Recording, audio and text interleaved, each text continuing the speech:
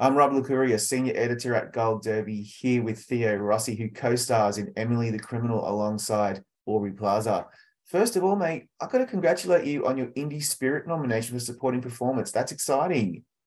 It is, yeah. That was uh we were like, you know, we're like little kids. We've been texting, you know, we're both in, we're all in different places on this production. It's such a small movie. We have this incredible group chat. And when that happened, it was like, incredible. And it's the same thing we're going through right now with the Netflix stuff, you know, it premiering on Netflix and, you know, going up to number two, I think today.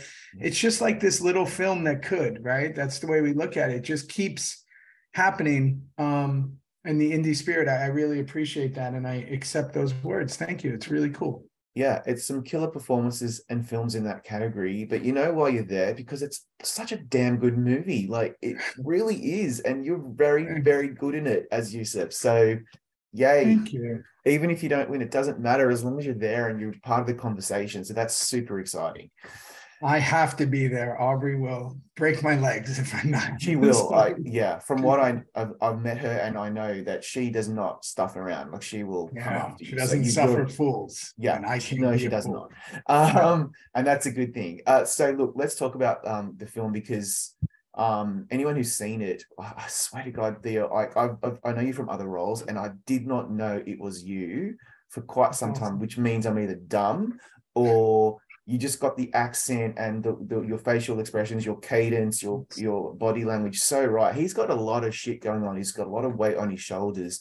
I'm curious what was going through your head when you landed the role. You've read the script and you're thinking, okay, how am I going to play this guy? Mm.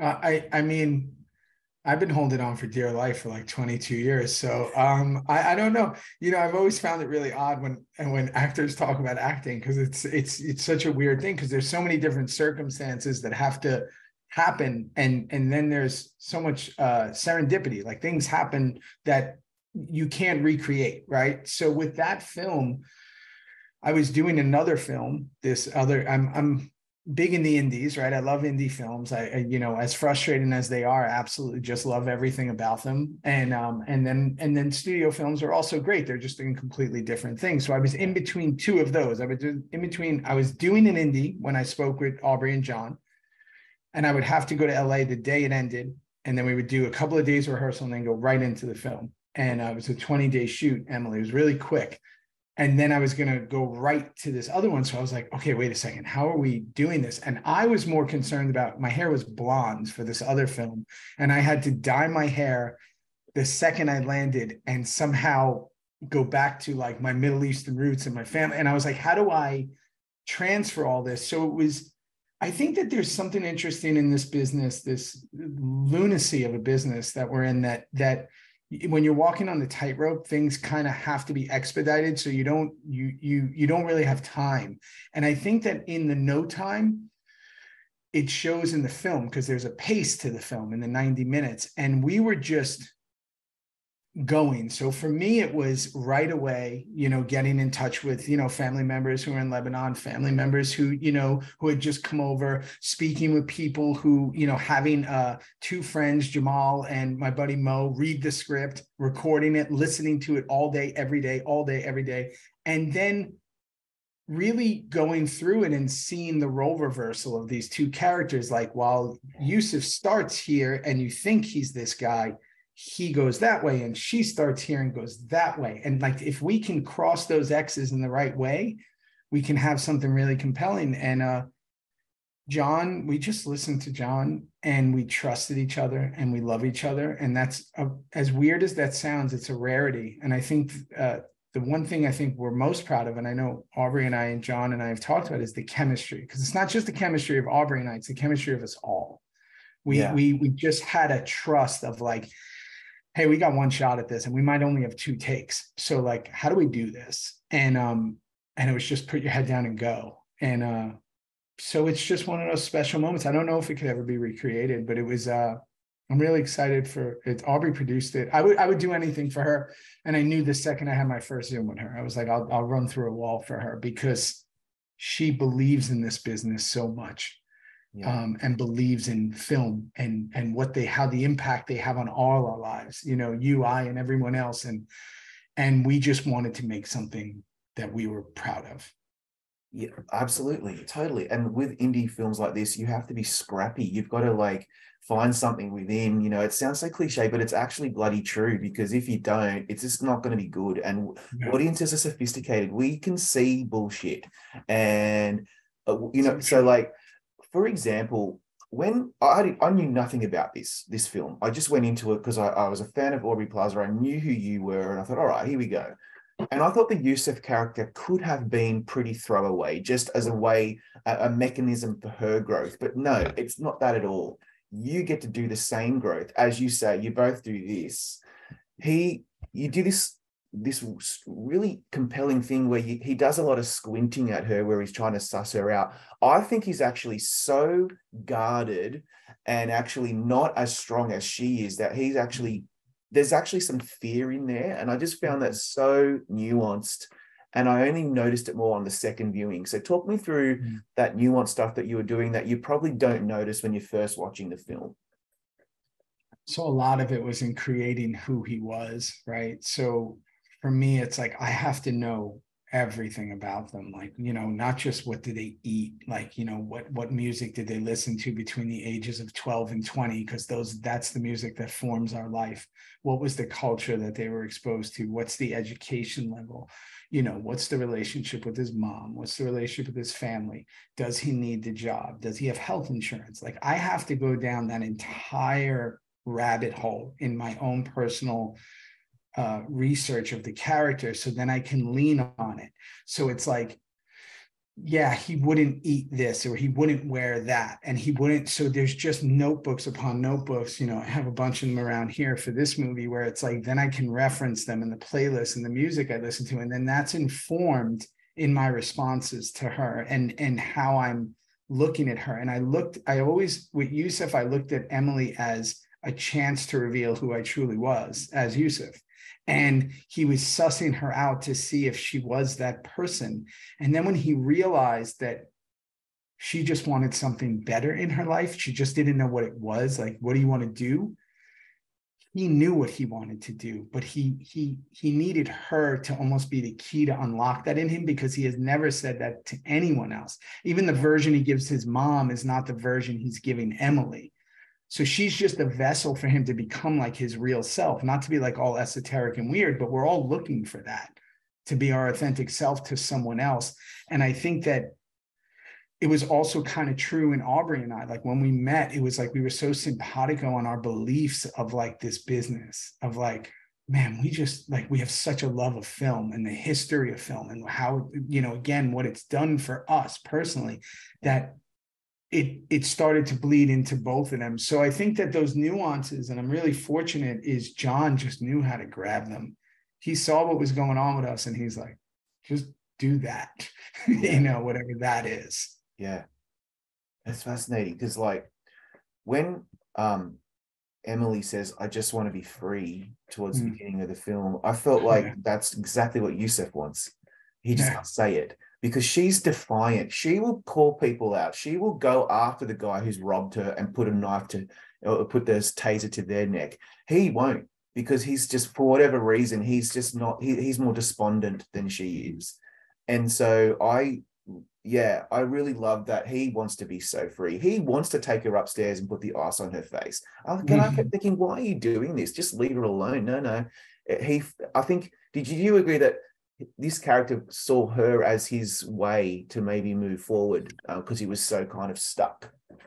Yeah, I mean, listen, the greatest relationships we have in our lives, and we're here for such a short time, is like the ones who are doing things that we aren't, we can't do. They bring something about us, whether it be the funny friend or the caring friend or the, you know, the friend who has something or the the relationship, the significant other who has something that you don't.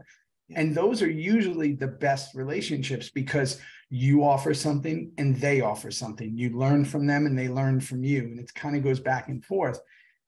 It doesn't happen like that all the time. A lot of times we surround ourselves with people who are extremely similar and there's no real growth and there's no, uh, you know, something to, you know, um, uh, learn in a way because it's just the same thing. I think his attraction to her from the beginning was he knew there's something about her that he wishes he had and then she is with him, looking at him and thinking, he knows things to potentially get me to be free. So it's like their their their relationship is slightly transactional in a way, whether it be emotionally or you know. So when you see that, it's incredible because it's it, they're revealing things about each other as they go. They're revealing more and more. My one of my favorite moments in the film, and it was such a simple moment that I didn't think about until I actually watched it, was um, when she compliments on The Office and yeah. he says, I fucking hate this place, you know, but he laughs because it's such a simple thing. And he says, I decorated this whole thing. And she's like, Oh, yeah. And they have like a real moment of like where they are in their lives and what's happening. And it's so basic, but it's so real. And I just remember when we did that, it was like one of the first times where I was like, wow, this is something's going on here. And you just don't get that much you know when you when you're doing this kind of thing. And um i think that that's i think that's why people are responding. I think there's a couple of reasons why people are responding. I think if you made this movie 10 years ago or made it 10 years from now it'd be the same thing right? It's someone who is up against it and just has just doesn't want to take it anymore right? And but i think at the end of the day while that's amazing what what all great movies hang on is the relationships yeah. of the people and who they are and how they are. And um, we just wanted to make a real movie. Yeah. When he says I did the lighting design and he has you do you do this funny little squint. Um, and I just thought immediately, okay, they're gonna get together now because like that that's exactly what she wants to hear. That ridiculous sardonic wit that um, really works. What really kills me, man, and I'm just looking at you now and I'm thinking about Youcef, and I'm thinking about how she had to leave him. Like in the car. Yeah. It's like she had a journey and sorry, man, but you're you're on your own. I felt that was so freaking heartbreaking. I'm just curious how, how you felt. This is the character you have to love this character, and and he doesn't end up well, unfortunately. well, well, that's the crazy thing is that is only in the edit. We filmed something different. Really? Yeah. Yeah, and I don't want to. There's no reason to go into it because it doesn't matter. But what? there is there there is a version that they're together at the end. I'm I'm floored, and I never. I'm always so prepared, man. I had yeah. no idea. So there's a version where there's a version where he's on the beach. Are you serious? Yeah, there's a version where he walks in the back door when she's giving that speech. Oh, that's the ver- yeah. okay. Now, I'm, when I speak to John next week, that half the interview is going to be about that choice. Why? no, because it's a simple reason why. It's Emily's story. It's yeah. her POV. Everything has to be from her POV. We are on her journey. And the greatest films, my favorite films, are when we follow that journey. And we have to see her and we have to we have to give our due to the audience. We have to let the audience think of what could happen. Did he survive? Did he not survive? Did she go back? Is she going to get in trouble there? Is she going to wind up like him? I saw somebody say that. I thought it was wonderful, where it's like, okay, she's him in the beginning of the movie. Wow. So if you fast forward, is she going to meet her Emily, you know, and, and reverse, and then she's in the car, you know? So it's like, you have to let the audience, just like we're doing, do that because our greatest films, our greatest experience with theater is when we it's I call it the parking lot walk. When we walk out with our mate or a friend and we go, what do you think? What do you think happened? Where do you think he went? What do you think she did? And it's like we want that. And that's what I, I know John and Aubrey and like what that was about.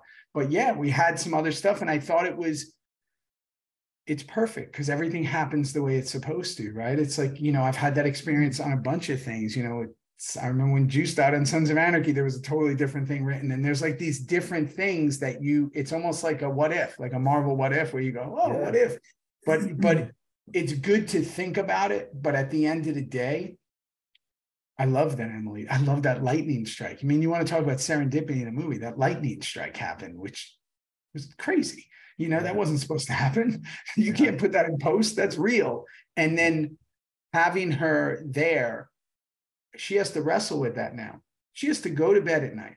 There's two moments when you're truly with yourself in this life. That's when you close your eyes before you go to sleep and you have those moments, and when you're in the shower, right? You have two moments where you're truly alone. Yeah. And she has to do that every time and think about Youcef. And that's amazing to think about. Yeah. That shower time is so profound, right? Profound. The stuff that goes through your mind.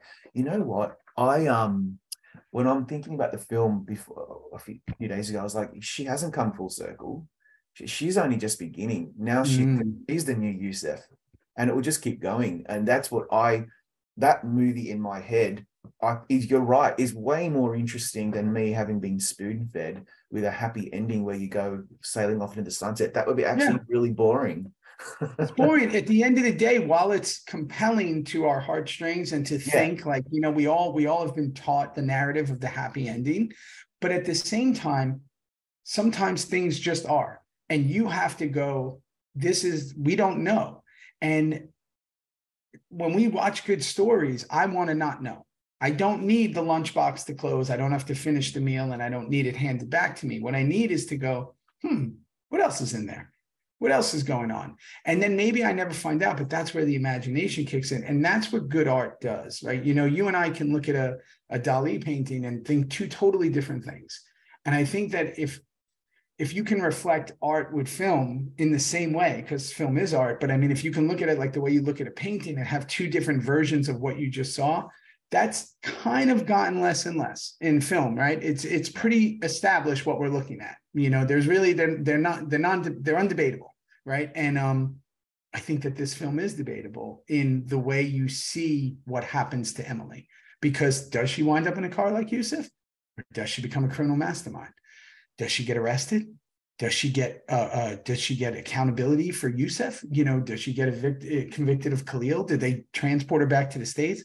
Amazing that we even get to even think about those things. Right. And this year, particularly with so many films like that, where I've had to really start to grapple with my own imagination, like Tar and Bardo and this and Aftersun. And that's that's what I'm looking for in cinema. And so I'm so thrilled that we get to do it. And my final question is this you touched on it very briefly at the beginning, but you get to do a scrappy passion project where you've made the audience think and you've grown as a performer and then it gets to drop on netflix so that everybody's going to see it. Is that something that you are thrilled about in this industry that we've got platforms like netflix these days? Yeah i mean my predominant employer is netflix. I'm doing yeah. films for them right now. I've been working with them you know pretty hardcore since luke cage you know um and i absolutely love everyone there. Uh here's the thing. You can't there is a there is a way where you can love both right? I don't know i've never really understood this thing of like you know people yelling at the clouds you know you're not going to change it. It is what it is. And how amazing is it that you can get such incredible stuff at the palm of your hands on your 85 inch tv or whatever people have nowadays. And then at the same time you can go to theater and see something right? It's fantastic I've had so much respect for Netflix because technically Netflix started a long time ago changing my life. If you think and go back, seasons one to three of Sons of Anarchy were just on FX. And yeah. this was pre pre Netflix making their own shows. Mm. And then they got Sons of Anarchy on the platform and season four premiered. And it had season one, two, three, and four, but season four, and it came on Netflix. So season one, two, three dropped on Netflix, and then our season four premiered on FX. Season four was when Juice took off as a character. Yeah. And it was really that entire storyline. So our audience like tripled. Mm-hmm. So it, it lined up exactly with where my character was going.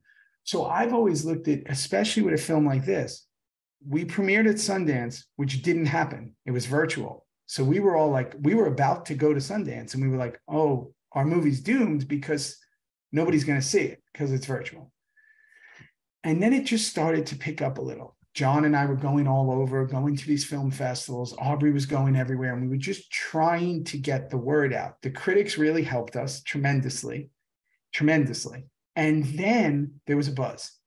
There was a little bit of buzz, but it was in a limited, limited release. So then it came. So now it's okay. There's that version of the movie. So that's Sundance version, then the limited release. Then there's the version of it went to VOD. You can buy it. Yeah.